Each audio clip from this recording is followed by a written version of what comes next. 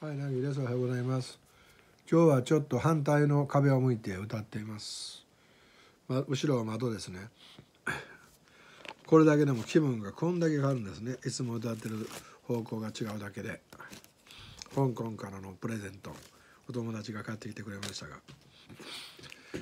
え次はえっと西郷輝彦さんで、えー君だけを歌います。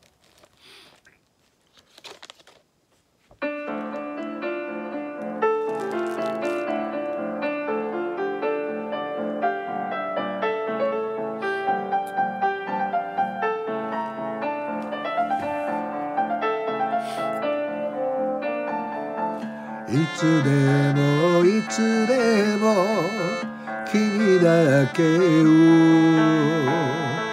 夢に見ている僕なんだ。星の光を映してる。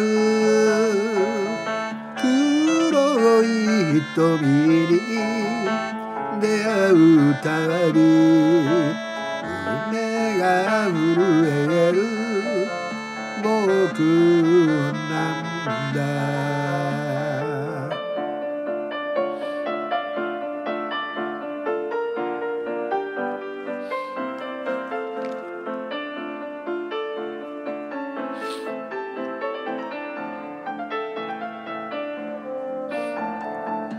いつでもいつでも君だけが待っていそうな街の角。そんな気持ちにさせるのは君の素敵な古い鏡。雨に濡れてた。長い髪。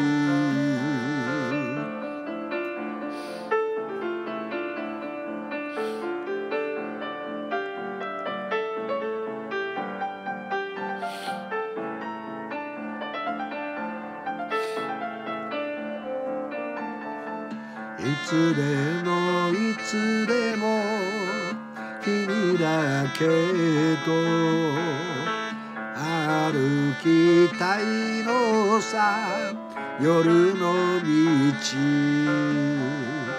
二つ並んだあの星もいつも仲良く光ってる。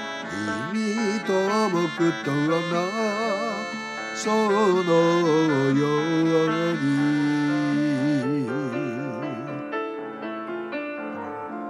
え最後ということで君だけでした。なぎでした。いいね押してね。できたら登録して友達になってください。See you